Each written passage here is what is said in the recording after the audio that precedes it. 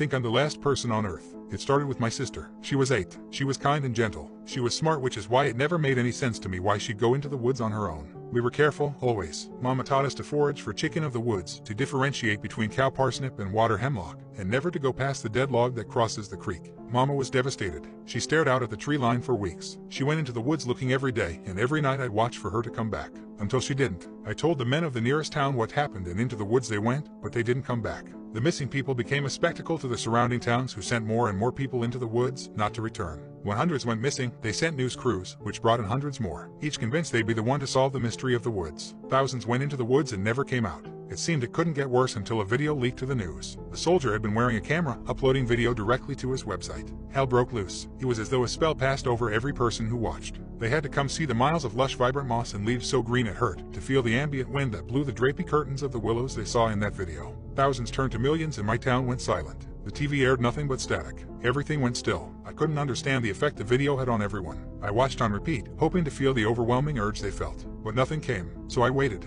For weeks, I waited for someone to come and find me, to tell me they didn't understand either, but no one did. My heart ached, for my sister, for mama dot dot dot for myself, all alone. When I had nothing left, I walked into the woods, past the log and through the willows, until I came to a clearing, huge and circular, carpeted with soft moss. A woman stood in the middle, like a tree come to life. Please, I wept, take me, too. She smiled a soft, sad smile. You had a chance, she whispered along the wind. She left, and the clearing went with her. I was alone, in the dark, swampy woods. I don't know how long I cried, just until I had nothing left. I think I'm the last person on earth.